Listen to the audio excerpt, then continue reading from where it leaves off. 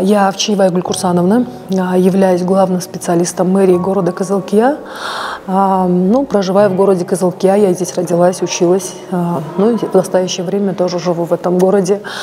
А с 2006 по 2009 годы я работала заведующим методическим кабинетом. Затем в том же городском отделе образования я стала работать специалистом по кадрам, а затем уже ведущим специалистом и а, затем главным специалистом. И в 2017 году ну, надо было уже как-то что-то менять. У меня вначале были такие планы, что вот я буду расти, расти и в, в конце стану заведующим городским отделом образования, но так как это не получилось, я решила ну, как-то поменять свою деятельность. И представилась возможность в мэрии города Козылкия в социальном отделе. Образовалась вакансия тоже на э, главный специалист. И вот методом ротации меня перевели в мэрию города Козылкия. Работа в сфере социального развития, социальной защиты может показаться, на первый взгляд, она может показаться трудной, да, но когда ты решаешь какие-то проблемы, связанные, там, может быть, с получением пособия, или там приходят люди с ограниченными возможностями, когда ты им оказываешь какую-то помощь, а, видишь, э, что ты можешь быть полезной, мне это доставляет как бы удовольствие. Я получаю от этого удовлетворение. Декабре у нас отмечается День людей с ограниченными возможностями, и в этот день у нас с местного бюджета выделяются денежные средства, и как бы им оказывается материальная помощь, да, это раздаются конверты. А в том году, вот в 2017 году, мы вот эти 100 человек всех пригласили в зал, в большой зал, а, не просто оказали материальную помощь, а организовали для них концерт. И вот после вот этого концерта, когда они уходили, в их глазах читалась такая благодарность. Было очень приятно. Вот для меня вот этот момент запомнился, наверное, потому что это был первый э, опыт в моей жизни.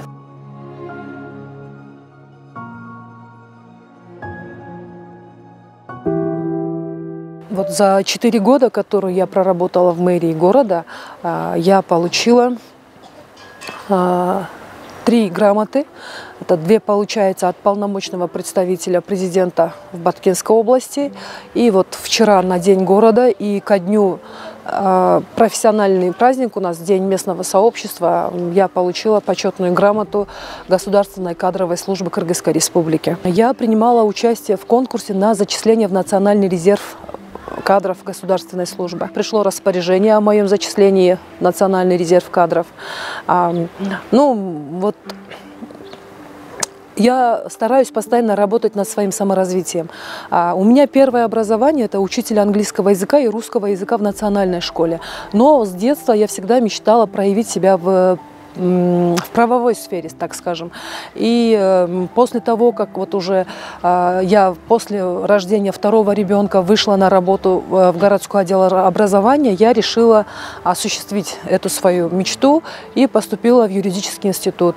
А, обучалась я на заочном факультете, но несмотря на это, я закончила его тоже с красным дипломом. Через определенное время у меня будет, э, скажем так, э, контора, где я буду оказывать юридическую юридическую консультацию или вот частный нотариус. У меня с детства было обостренное чувство справедливости. А, и вот работая вот в школе, в городском отделе образования, в мэрии, а, там сталкиваясь, общаясь с различными людьми, иногда понимаешь, что есть вопросы, которые а, в силах решить именно сотрудники правовых органов. Единство народа в его многообразии я принимала два раза участие в, этих, э, в семинарах этого проекта. Я получила очень много знаний, а, э, которые я могу применить на своей работе. То есть, как понять э, человека, как э, войти в его ситуацию, как правильно с ним разговаривать, как избежать конфликта. А, то есть, я говорю, это были знания, которые вот я до сих пор на сегодняшний день применяю в своей работе. И не только применяю, я о них рассказываю вот своим коллегам, молодым коллегам.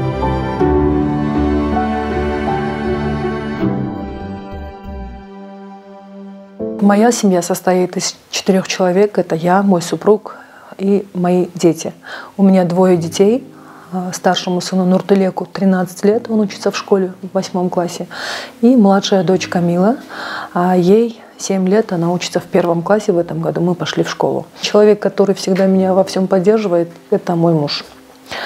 А, какие бы э, начинания у меня не были, он никогда не сопротивляется, скажем, он говорит, зачем тебе это, или занимайся тем, что уже есть, домом, детьми, никогда такого не было.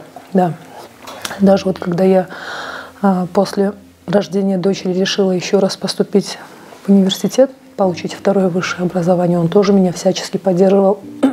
Бывало так, что я уезжала сдавать экзамены, он дома оставался с детьми. Благодаря пониманию с его стороны на сегодняшний день, наверное, я добилась вот того, что у меня есть. Я очень счастлива, что у меня дети есть, что они здоровы, что у меня есть мама, что она тоже, а несмотря на то, что не живет вместе с нами, она у меня есть.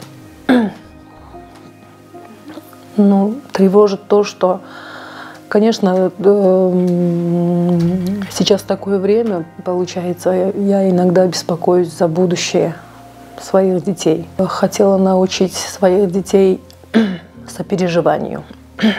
Когда а, человек умеет сопереживать, ставить себя на место другого человека, я думаю, а, из него выйдет хороший человек. Он не, может, не сможет себе позволить кого-нибудь обидеть или там причинить боль. Вот ну, обязательно, конечно же, целеустремленность, самоуважение. Я хочу, чтобы мои дети были уверенными в себе. Нам долго не удавалось э, завести ребенка, скажем так. Я вот сына родила через пять лет после брака и дочку снова через шесть лет родила, получается, с большим перерывом. А, поэтому оба ребенка у нас очень долгожданные. А мы ну, в душе в них не чаем, и как я, так и муж. А, но дочка у нас, скажем так, она наша любимица. Мы стараемся э, баловать ее.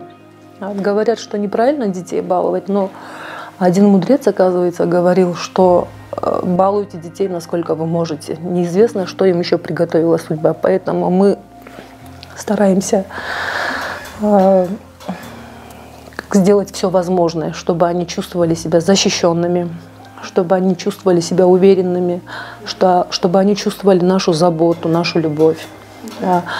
Но, несмотря на это, у нее тоже есть обязанности по дому.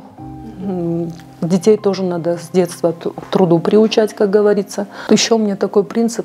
А, я считаю, что никогда не надо говорить девочкам, нельзя делать этого, ты же девочка.